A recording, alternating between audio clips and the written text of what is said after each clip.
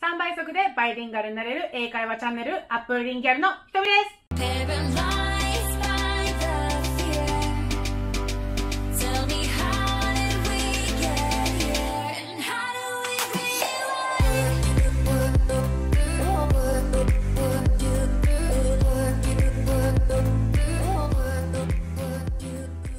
繰り返し聞いて繰り返し話して書き出して3倍速で英語をゲット。英語ペラペラのあなたが待ってるよ。最後まで見てくれたらまとめが出てきます。Let's tune in! Apringa! Today's lesson is oxidize, fade, wash out, and come out. 色が褪せる総称の言葉をやっていきたいと思います。この言葉の違いなんですが基本的には全部同じ意味です。色が褪せる退色する色落ちをすることを指しますまず最初に oxidize oxidation. オキシダイズなんですけど日本でオキシって聞くとカラーを混ぜる時の二液をオキシドールオキシっていう言葉で馴染みがあると思うんですがそのオキシは酸化剤という形でオキシって言われてます。でこのオキシダイズっていうのが酸化するっていう意味なんですけど酸化をするオキシダイズを使う場合っていうのは特にアルカリカラー剤パーマネントカラーを使った時によく使われる表現方法です。オキシダイズってどんな状態で起きるのかっていうのはアルカリカラー剤を使った時に色落ちがして退色してきた時に赤みが出てくるような状態をアキシダイズしたっていう風に表現します。My hair turned out brassy because it's oxidized.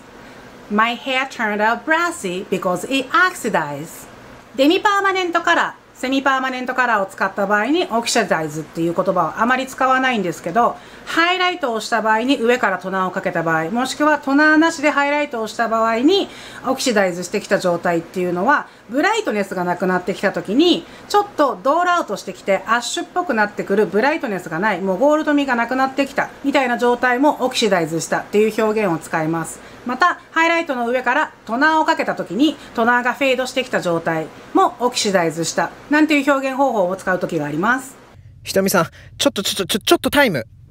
皆さん、こんにちは。天の声担当のパックマンです。いやー、先に謝らせてください。申し訳ございません。ひとみさんの説明が爆裂ルー大柴さん状態で申し訳ございません。ひとみさん、ルー語が過ぎます。代わりに改めて解説させていただきます。オキシダイズの使い方ですがアルカリカラーいわゆる普通の一般的なカラー剤を使ってその色が落ちてきて赤みが出てきた時にオキシダイズしたと表現しますなのでビアルカリ弱アルカリカラーを使用した場合はあまり使いませんただハイライトをした後のトナーや日本ではあまりないかもしれませんが後でトナーをせずハイライトのみのカラーをした後の退色を表現するときにオキシダイズしたと表現する場合があります。ここまでは皆さんなんとなくお分かりいただけたと思いますがこの後がもうルー語炸裂し倒してますよね。いきますよ。ブライトネスがなくなってきた時にちょっとドールアウトしてきてアッシュっぽくなってくるブライトネスがないゴールド味がなくなってきた状態もオキシダイズしたという表現を使います。もう全く意味パッパラパーですよね。何回見返しても僕も訳がわからなかったです。皆さんが何回も見返す必要がないようにゆっくり解説させていただきます。要はハイライトをしてトナーをした後の退色または日本だとあまりしないかもしれませんが後でトナーをせずハイライトのみした場合の時の退色はアルカリカラーが退色してきて赤みが出てくる状態とは少し違いますがサイドが落ちて綺麗な発色でなくなってきてアッシュっぽくくすんでゴールド味がなくなってきた状態もオキシダイズした。と説明していただいてます。すごく簡単に要約しますとハイライトが退色してきてサイドが落ちてきてくすんできた状態のことをオキシダイズしたと表現します。まとめるとこの図のような感じになっておりますのでスクショして保存しておいてくださいね。ちょっとル語が過ぎる説明で申し訳ございませんでした。ひとみさんも今日本語もう勉強中でして、いい意味で徐々に僕の登場回数も今後減ってくると思いますので、多めに見ていただけると幸いです。ではこれを踏まえ、もう一度同じシーンをどうぞ。VTR、Q!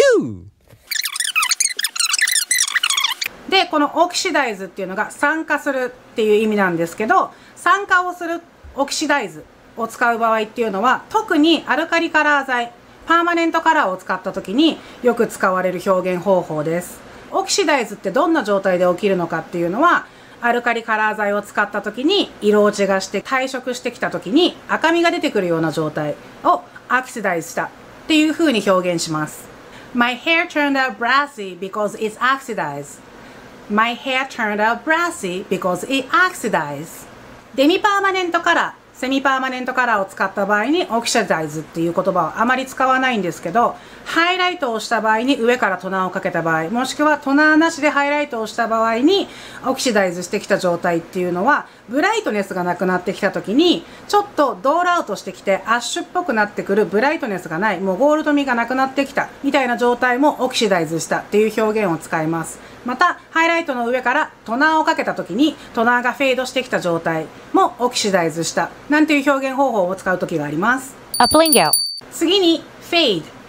フェードは、皆さんはフェードアウトって聞いたら馴染みがある言葉なんじゃないかなと思うんですけど、音楽、ミュージックがフェードアウトしていく時って、だんだん音がちっちゃくなっていくっていう時にフェードアウトしていく。もしくは、舞台の上から徐々にいなくなっていくことをフェードアウトするなんていう形でその言葉を使うことがあると思うんですけど、カラーの表現の時にフェードっていう言葉を使うのは、フェードも徐々に音が消えていくっていうところと一緒で、徐々に色が褪せていくっていう状態をフェードっていう言葉を使って表現します。Permanent color will fade over time.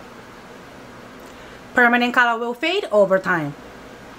Last color faded much quicker than usual. Last color faded much quicker than usual. 次に wash out wash out なんですがこれはね洗濯物をして黒い T シャツが洗っていくうちに徐々に徐々に色が色あせていく状態ってありますよねそれを wash out っていう表現をするんですがカラーの場合に wash out を使う場合はシャンプーを続けることによって色が抜けていく状態っていうものを wash out って表現します The color washed out in fusion pearl The color washed out in fusion pearl Uplingo. 次に come out come out は色落ちするではなく色が抜けるっていう状態の時に使います After the few shampoo the color began to come out After the few shampoo the color began to come out ここで come out なんですが come out は基本的にはお客様が色落ちが早いよっていう状態を言う時に come out っていう言葉を使ってあの自分たちに言ってくることが多いです。前回色落ちが早かったんだよねなんていう場合に it came out so quickly なんていう形で came out っていう言葉を使われます。お客様が使う頻度が高いのが wash out と come out 美容師さん的にはなるべくフェードを使うようにしてほしいと思います。アップルリンガール。フェード、ウォッシュアウト、カムアウト。この3つの退色の仕方の違いについて教えてください。フェード、ウォッシュアウト、カムアウト、確かに結構微妙なラインだから、一個一個の違いがすごい分かりにくいと思うんですけど、フェードは徐々に色落ちしていく、ウォッシュアウトはシャンプーとかによって徐々に色あせていく、カムアウトはシャンプー何回かしたら色が抜けちゃった。なんかもう徐々にっていうよりもなんかふって気づいたらあれもカラーないんだけどみたいな状態の時にカムアウトっていう単語を使うことが多いかな。なのでなるべく美容師さんとして自分たちが使う時はウォッシュアウト、カムアウトよりもフィードっていう単語を使ってほしいんですよ。お客さんにこういう風に聞かれることが多いのでそういう場合はこういう風に答えてください。How long does it last? It will fade over time, but it should last 4 to 6 weeks. アップルリンガール最後にまとめが出てくるのでスクリーンショットを撮って書き出して復習してみてくださいこの動画を見てちょっとでも勉強になったなと思った方はいいねボタンチャンネル登録よろしくお願いしますコメントもお待ちしております。インスタライブもやっているので、臨場感のある動画で勉強したいなと思う方はそちらの方も登録してチェックしてみてください。Thank you for watching. I'll see you next time.